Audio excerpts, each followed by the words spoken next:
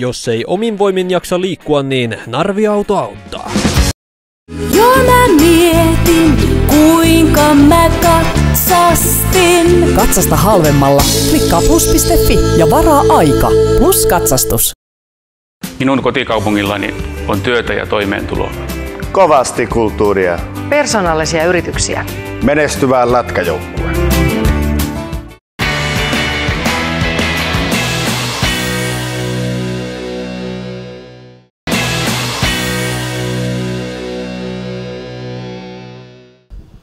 Ja tervetuloa Lukko TPS-ottelun jälkeiseen mediatilaisuuteen. Tepsille voitto, ensimmäinen vierasvoitto liigassa tällä kaudella. Onnittelut siitä ja kommentit. Miika Alomo, ole hyvä.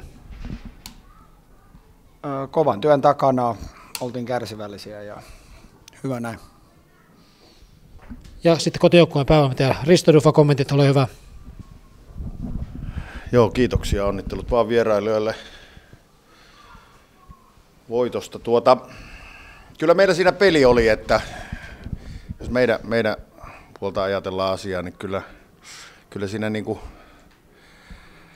äh, jos ollaan tällä viikolla jäätiin kaksi kertaa vähän vaiheeseen, vaiheeseen tuolla vieraskentällä, niin kyllä tänään oli, oli ihan ne oikeat peliliikkeet maalin, maalintekoon luku ottamatta, että jos katsoo tapahtumien vallissa, mitä kentällä tapahtui, niin ää, maalinteon vaikeus suhteessa vastustajan maalinteon helppouteen niin oli se, joka, joka tuota, niin,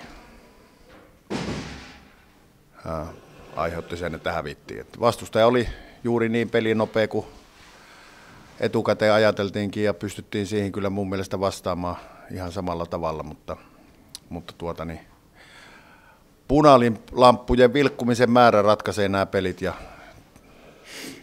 joulu oli tänään meidän päässä.